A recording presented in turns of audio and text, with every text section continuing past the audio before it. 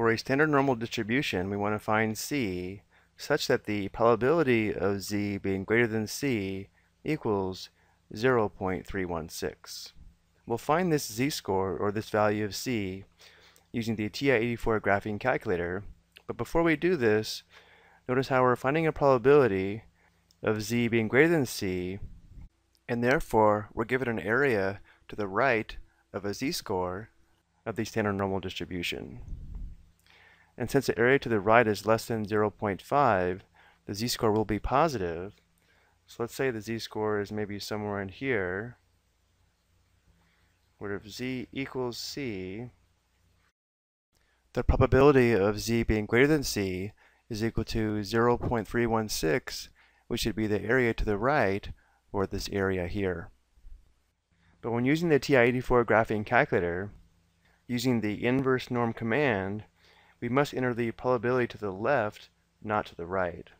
So if this area is 0.316, and we know the area under the standard normal distribution is equal to 1, then the area to the left, this area here, would have to be 1 minus 0.316, or 1 minus area to the right, which gives us 0.684 for the area to the left, or the probability to the left, of this given z-score.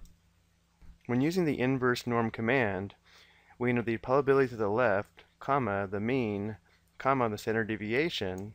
But in our case, since we're looking for a z-score, we can leave off the mean and standard deviation. If we leave these off, then mu equals 0 and sigma equals 1, and therefore it returns the z-score with the given probability, the probability of z being less than c.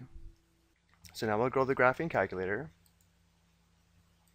We'll press second vars for the distribution menu, option 3. And then we'll enter the area to the left, or the probability to the left, which is 0.684. Close parenthesis and enter. This is the value c, or the z-score we're looking for, such that the probability of z being greater than this value here is equal to 0.316. So round to four decimal places, C would be approximately 0.4789.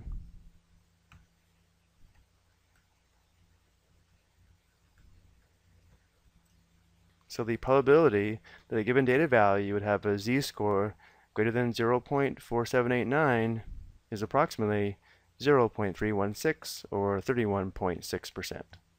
I hope you found this helpful.